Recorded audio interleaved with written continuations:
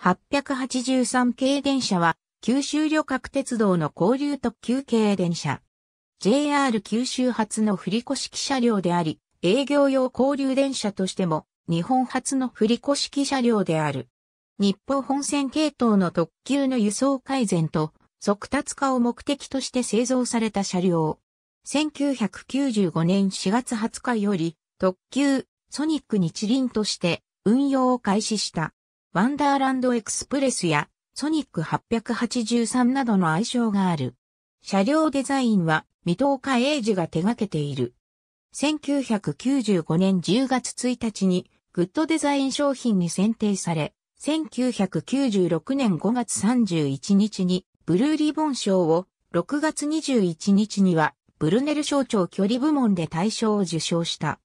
1994年度に一次車7両編成2本、1995年度に二次車7両、編成1本、1996年度に三次車7両、編成2本、1997年度に四次車5両、編成3本の計50両が製造された。2008年には5両編成3本が7両、編成化され、それに伴う増備車として1000番台2両3本6両が製造、合計で56両のグループとなっている。すべて日立製作所で製造された。全社大分鉄道事業部大分車両センターに配置されている。以下、1994年に登場の車両は一次車、1995年に登場の車両は二次車、1996年に登場の車両は三次車、1997年に登場の車両は四次車、一次車から四次車をまとめて指す場合は883系と表記する。当時、導入線区となる日本本線を含む東九州地区の交通体系は高速化が遅れていた。この頃、大分自動車道が全線開通間近であったこともあり、鉄道整備基金の認定を受け、高速化事業の一環として、日本本線の小倉大分間の線路設備強化とともに新生車両を導入することとなった。787系、ツバメプロジェクトの成功を受け、車両デザインは未踏化に依頼する。当時の社長である石井幸隆は、新生車両に対して二つの面を欲していた。一つは、スピードアップである。ライバルとなる車と対抗するためにはスピードアップは必要不可欠であったため、振り子装置が採用された。これにより、カーブの多い日本本線でもカーブ通過時のスピードアップが図れ、博多大分間の所要時間は従来より20分ほど短縮するに至る。もう一つはデザインによる話題性である。この新生車両は約2時間の短距離輸送を担うことになるため、子供や若者らが感嘆するほどのポップカルチャーが必要と考えたのである。しかし、当時の日本本線の特急は乗客が少なく、夕方になれば当時充当されていた485系の車内は、酒瓶や先イカが散乱しているというありさまであったため、日本本線に対して投げやりな社員もおり、メンテナンスもなおざりにされていた。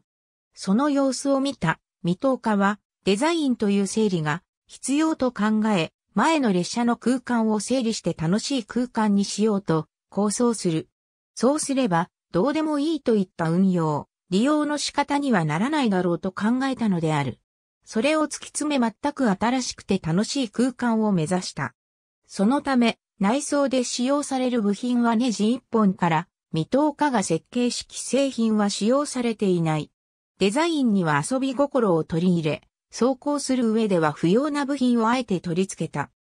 また、細部まで観察する子供の目線を意識していつ見ても新しい発見がある要因 A やハイライトがつくようにするといった工夫を凝らし、車に比べて引けを取っていた鉄道のデザインや都色のレベルを上げてみたいとも考え、車も意識した。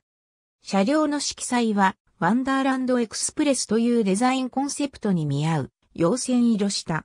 そのため787系の抑えられた色彩から一転し赤、青、黄、緑などの原色が用いられた。この新生車両の愛称については、はじめに当時の鉄道本部長から大分県の県取りである目白を提案されたが、高速列車のイメージに合わないなどの理由で車内から反対意見が上がり、代案としてソニックが提案された。英語で音速のという意味を持つソニックは車両デザインや列車の方向性とも合致することから未踏化も了承し、ソニックに決定した。形式名については789系、881系を飛ばして883系となった。なお、789系については後に JR 北海道から登場している。以下、主に製造時点での構造について記述する。車体は軽量構造のステンレス製、前頭部は非貫通構造の普通構成である。昆虫のようやロボットのようとも形容されるこの前頭部は、イタリアのデザイナーマルチロガンディーニがデザインしたトラックを参考にしている。前頭部はブルーメタリックに塗装されている。このブルーメタリックはトライアンフのラリー車にあったようなブルーのイメージに近い色である。当時、ヨーロッパの自動車業界の流行色であったことから、未踏化はこの色を採用した。前頭部には別パーツのパネルが装着されている。この前面パネルは取り替え可能な構造であり、人身事故などで正面パネルを大破した際は取り替え品が完成するまで応急措置としてパネルを外して運転されたこともある。空気抵抗低減のため、パネルと前頭部本体の間に隙間があり、そこを空気が通る構造となっている。しかし、これに実用性はなくあくまで装飾という位置づけである。この構造は、海一マシンの構造が手本にされた。1994年製の一次車から1997年製の四次車では、前面パネルの形状やカラーリングが異なり、これらのバリエーションでソニックファミリーを形成する。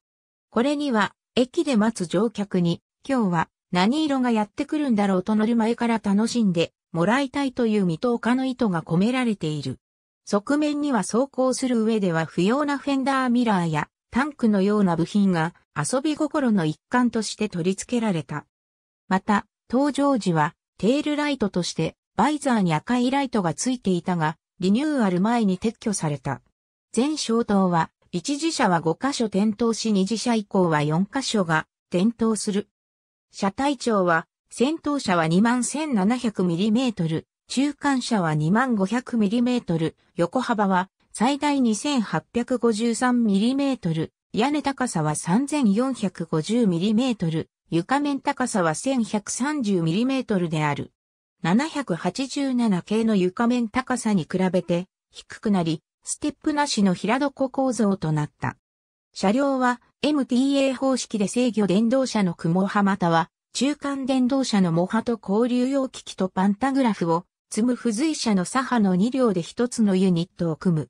ユニットを構成する車両間は半永久連結機を装備し、タワ密着連結機を装備する。なお、戦闘車の黒波882型は、どの車両ともユニットを組まない。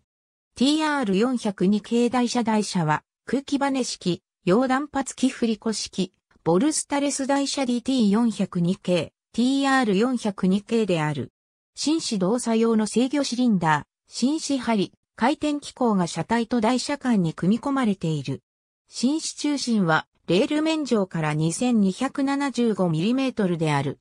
車軸のバネ指示装置は、コイルバネと円筒複層ゴムの組み合わせ。軸受けは密封式円錐コロ軸受けである。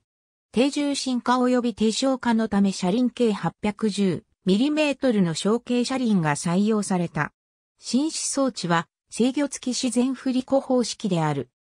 これは黒波882型に設置されている CC 装置とつながる地点検知車上紙が ATS の地上紙を検知して、あらかじめセットされている路線情報に基づき自社位置と曲線の入り口、出口を距離演算して割り出し、CC 装置から各車両に取り付けられている TC 装置に傾斜タイミングの指令を転送し、TC 装置が車体の傾斜を制御する仕組みである。新式機はコロ式である。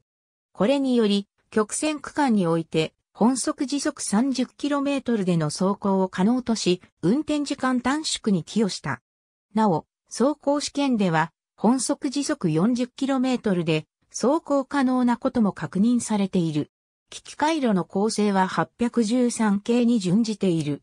制御方式は、サイリス体操制御と東芝製、GTO 素子による VVVF インバータ制御である。インバータ装置は、電動車に搭載する4機の主電動機を個別で制御する。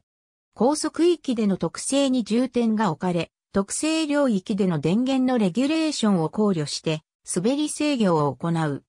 合線電流の増加が懸念されたため、河川電圧が降下した際に、最も電力を消費する中速域での一時電流を抑える一時電流、抑制機能を備える。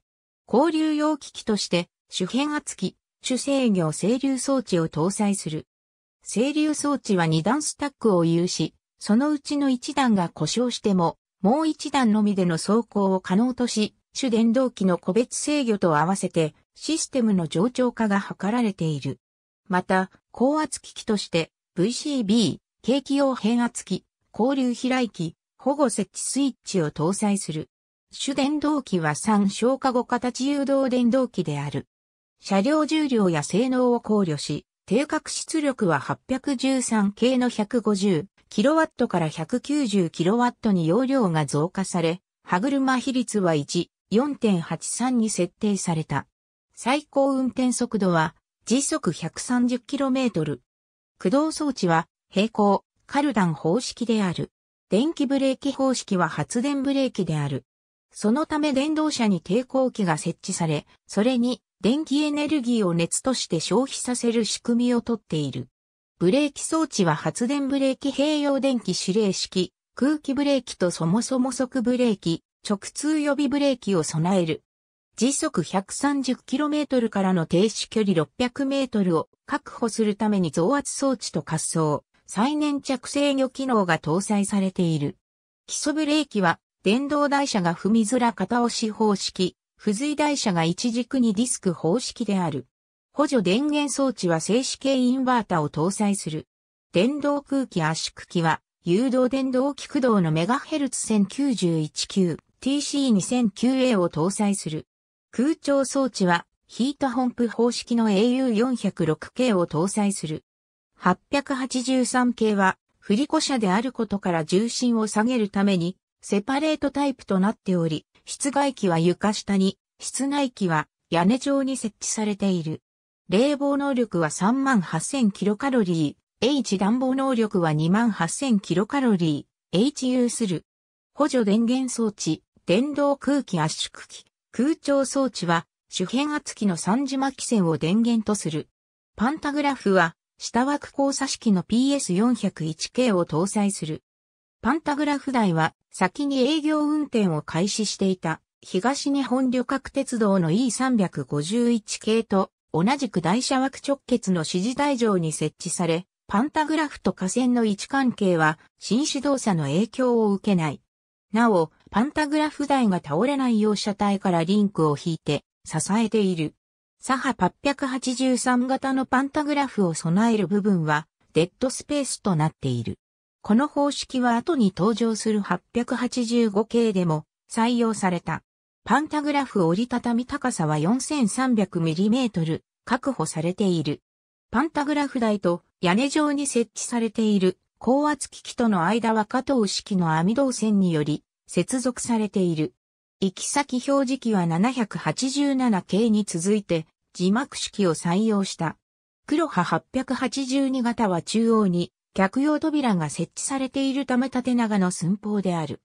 ミュージックホーンも搭載されているが、運転台の下のペダルで操作するのではなく、運転室のコンソールボックスの中のスイッチを操作して水明させる。運転中に鳴らすものではなく、各種試験動作等の注意啓発の合図のために設置されたもので通常は聞くことができない。列車内を一つの街と見立て、2.24号車の車端部に設置されているコモンスペースは公園、デッキは人の集まる広場と位置づけられている。つながった街並みとしての車両を作っていきたいという考えから車内の仕切りにはガラスが使用されている。883系は787系とは違い、約2時間の短距離輸送を目的としていることから、ビュッフェは設置されていない。しかし、これでは乗客が立ち回れる場所がなくなることから、その代わりとしてコモンスペースが設けられた。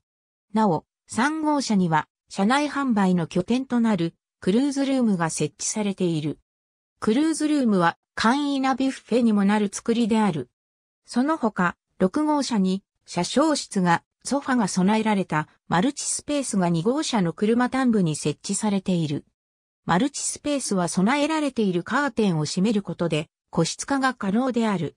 出入り口にはショーケースが設けられ、中には高田洋一による彫刻作品空想の旅が展示されている。振り子車の車体が振動するという特性を活かし、動くようになっている。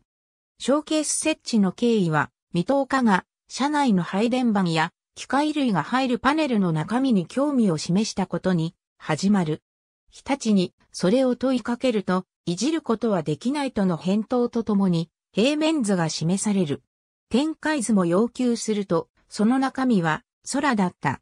未踏家はこの空間を活かそうとするが、予算がかさみ、スケジュールが伸びることを恐れた日立はこれを渋る。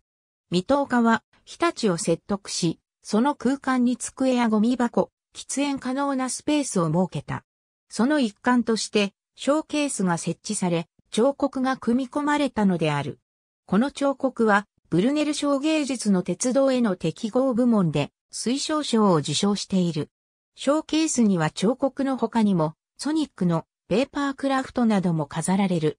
壁面はカラーアルミで構成され、電解着色により塗装されている。これは、ノバ大島によるものである。壁のみならず、883K で使用されているアルミ製の部品はすべてノバ大島が製造している。奇数号車にはトイレが設置されている。787系同様、真空式の洋式トイレが採用された。1号車にあるトイレはバリアフリー対応でスペースが広く取られている。3号車に設置のトイレは男女別に個室が分かれているが、洗面所は兼用となっている。三次車からは入り口に展示表記が追加され、個室内に非常用連絡装置も設置された。普通車普通車の客室内はカラフルな空間を形成する。床にはモザイク模様の赤、青、黄、緑色のタイルカーペットが敷かれている。カーペットのデザインは1両ごとに異なる。座席は2列ずつ 1000mm 間隔に並び、車内中央部にはセンターブースと称される空間が設けられた。ここは前後がガラスで仕切られ、向かい合わせで固定された座席の間に折りたたみ式の固定テーブルが設けられている。787系のボックスシートの流れを組んでいるが、センターブースの座席も若干リクライニングすることが可能である。1.3号車には設置されていない。1号車には車椅子対応の座席が2席分用意されている。壁面や天井、荷棚はグレーで統一されている。壁面には収納式の防止係が内蔵されている。荷棚はハットラック式で内部は赤色に塗装されている。荷棚下に読書灯が設置されている。室内の照明は間接照明である。グリーン車、黒波882系の前寄りに位置する。壁面や天井、カーペット式の床など普通車と同様の構造である。座席は2プラス1列配置 2150mm 間隔に並ぶ。運転席後ろには全面展望ができるパノラマキャビンが設置されている。これは乗務する運転士の姿を見てもらうために設置されたもの。鉄道好きの子供から好評を得ている。パノラマキャビンは客室より一段上がったところにあり、木製のベンチと引き出し式のテーブルが設置されている。段差の部分ではフットライトが点灯する。三次車からは書棚が設けられ、木材の色調も変更された。定員15名。室内の座席は、グリーン室、普通車ともに883系の開発に合わせて設計された回転式リクライニングシートである。この座席の特徴は動物の耳をイメージさせるユニークな形状のヘッドレストである。もともとはヘッドレストの部分にヘッドホンを内蔵し音楽を聴ける装置を導入する予定だった。これは全く新しい空間にするというコンセプトから発送されたもので883系の愛称、ソニックにかけたものでもあったが、予算が足りず、音漏れがどうしても避けられなかったため搭載が見送られ、最終的にヘッドレストだけが残った。ヘッドレストは3段階に高さ調節が可能であり、表地はそれぞれ黒点柄の入った赤、緑、青地の配色である。基本構造はシルバーメタリックに塗装されたフレームに座面が配置され、背面に T 字型のフットレストと収納式のテーブル、側面にアーム式の小テーブルがつく。振り子車で揺れることが想定されたため、両脇に赤玉のついた取っ手が設けられている。普通車の座面はヘッドレストと一体成形のバケットシートである。表地は黒地に星屑が散りばめられたデザインである。グリーン室の座席は黒革張りで、ヘッドレストも黒色である。なお、鉄道車両における座席への本側の採用は883系が初である。基本構造は普通車と同様だが、フットレストとフリーストップ式の電動リクライニング装置が装備されている。座席ごとに独立した両肘がかり仕様であり、臨席との間隔は普通車よりも広く確保されている。座面の幅は普通車、グリーン車とも 430mm である。なお、三次車からはグリーン車のシート幅が 60mm 拡大され 490mm となった。接客サービスとして、ソニックレディによるグリーン車サービスと車内販売が行われる。BGM 装置を搭載し、コモンスペースグリーン室、トイレでは BGM が流れる。なお、グリーン車サービスと車内販売は2015年3月13日で終了しており、その代わりとしてコールド飲料の自動販売機が6号車のデッキに設置された。運転席は航空機のコックピットがイメージされた。運転台は787系と同様に L 字型であり、基本構成も同じである。低速制御機能を搭載しており、立候低速はマスコンハンドルの5ノッチで低速ボタンを押すことで動作し、マスコンの位置をそもそも即位置に押し込むとそもそも測定速が作動する。運転台には乗務員支援モニターを備えている。モニターからは、機器類の動作確認やサービス機器、紳士装置への指令を行える。立候、ブレーキの情報転送やサービス機器への指令は車両に配線を敷き、順次加圧方式で構成する。883系は落成以降たびたび改造工事が行われている。一次車一次車の登場から10年以上経過した2005年3月より、車両検査に合わせて、リニューアル改装が開始された。内容は以下の通りである。リニューアル改造は AO-8 編成が初めに行われ、2005年3月24日のダイヤ改正より営業運転を開始した。その他の編成も順次リニューアルが施され、2007年4月23日の AO-2 編成をもって完了した。最初にリニューアルを受けた AO-8 編成のみ一部にステンレス切り抜き文字が使用されていたが、その後の用部検査でた編成と同様の銀色テープに変更された。黒波882から6では、リニューアル施行時に全消灯が HID 方式へ変更されたが、その後従来車と同様のシールドビームに戻されている。また、AO-6 編成の出場以降、全編成に設置されていたフェンダーミラーは順次撤去された。2018年の2月頃より順次ヘッドライトを LED ライトへと変更された。2008年7月現在の編成は以下の通りである。AO の A は883系、O は大分車両センター所属を示す記号である。落成時より7両編成である。1997年2月に登場。4次車に分類される。当時の輸送量に見合ったものするために5両編成で落成した。落成時は AO-6 から8編成と不番されていたが、2008年7月19日からの7連化に伴い編成番号がそれぞれ AO-16 から18編成へ改版された。前面パネルの形状は3次車と同じだが、AO-6 編成はシルバー、AO-7 編成は黄色、AO-8 編成は濃紺にそれぞれ塗装されている。4次車のみ、黒波882型にも空気圧縮機が装備されている。883系の各編成、登場時及び、リニューアル後の正面図旋盤台前述の通り、4次車に当たる第6編成から第8編成は、当初5両編成で製造されたが、2000年代に入ると特急定期券、エクセルパスの利用者を中心に朝晩の需要が増加し、着席できない場面が生じていたほか、両数が他の編成とは異なっていたため運用上の制約が存在した。これらを解消するため、2008年7月に4次車の7連化が行われ、電動車のモハ883型1000番台と、付随車のサハ883型1000番台が登場した。これに伴い AO-6 から8編成の車番が改版された。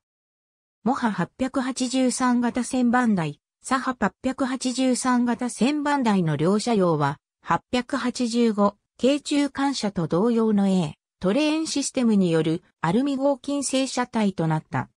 これは製作を担当した日立製作所がアルミ製車両の生産に特化し、カサト工場がアルミ製車両の製作を前提としたラインに整えられていたためである。そのため、既存車と同様のステンレス製とはならず、既存の883系とは外観の際が一目で判別できる。なお、国鉄、JR の在来線特急型車両で、複数の車体材質が用いられた車両は本形式が最初である。走行機器類や台車は既存の885系と同一であるが、車両のソフトウェアのデータを883系に合わせたため、883系1000番台に区分された。1000番台は883系で初めて中間電動車にパンタグラフが取り付けられている。行き先表示器も885系と同じ LED 式である。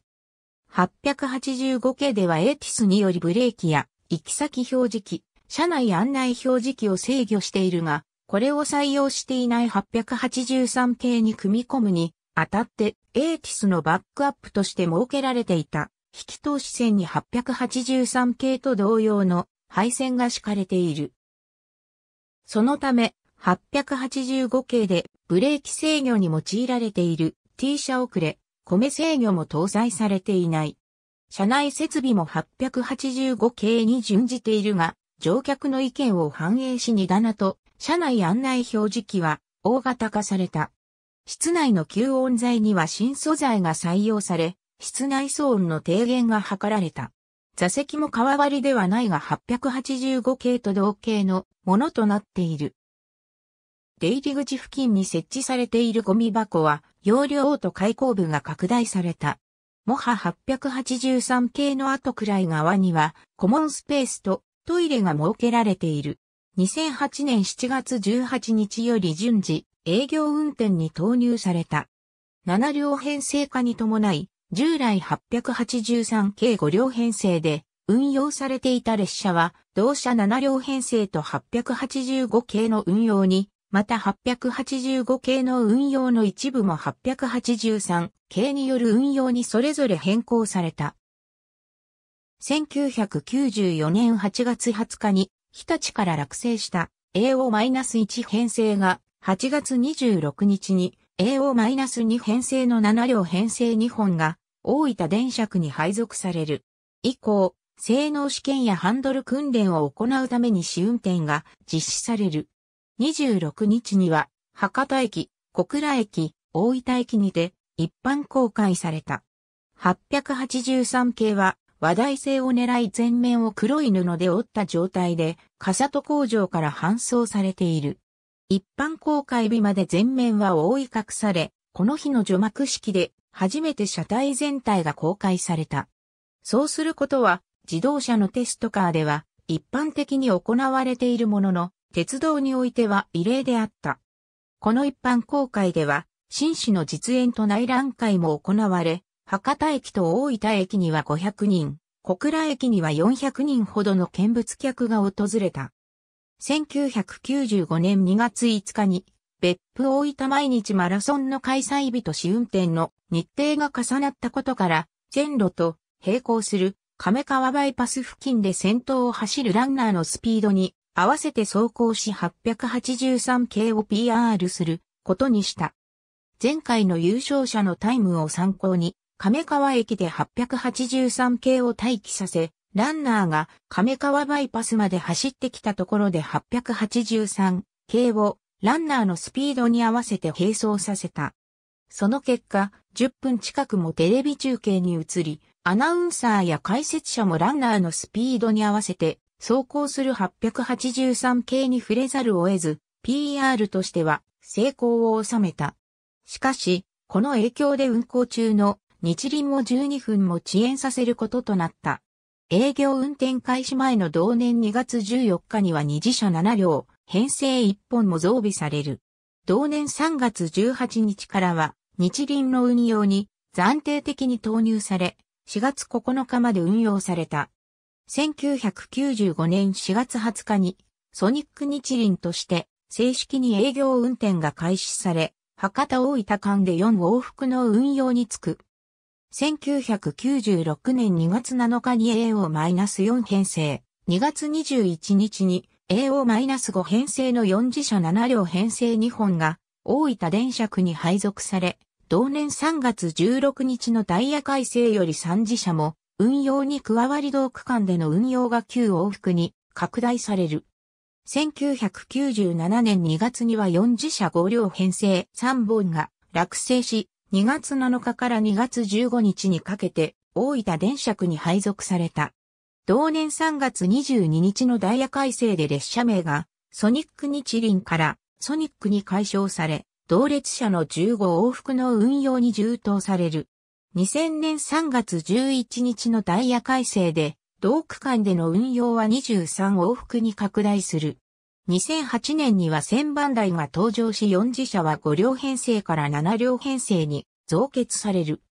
これにより、従来883計5両編成が担当していた16本の運用のうち5本は同社7両編成に11本は885系の運用に振り分けられ、885系の運用24本のうち11本は883系での運用にそれぞれ変更された。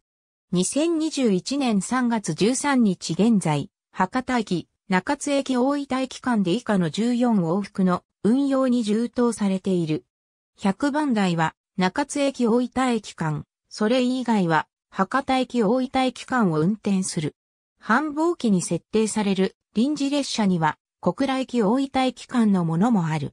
下り1.3.23.4540.3.4547.51.81.81.10.81号。上り2.48.1618.20.24.48.5258.6080.10.102号。